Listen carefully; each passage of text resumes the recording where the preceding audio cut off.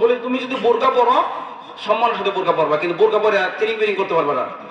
তুমি বোরকা পরবা, আবার তুমি প্রেম করে ঘুরবা, এলে হবে না। এলে মান সম্মান নষ্ট করবে না তুমি। ওই বোরকা খুলে করো প্রেম বোরকা খুলো এটা ইসলামের যেটা ড্রেস তাহাজিব তামুদ্দুনের প্রতি আঘাত হানে। কিছু বদমাইশ খারাপ, এই বোরকা পরে এগুলি করে। আর বর্তমানে যে বোরকা এগুলি পড়তে হয় না এগুলি।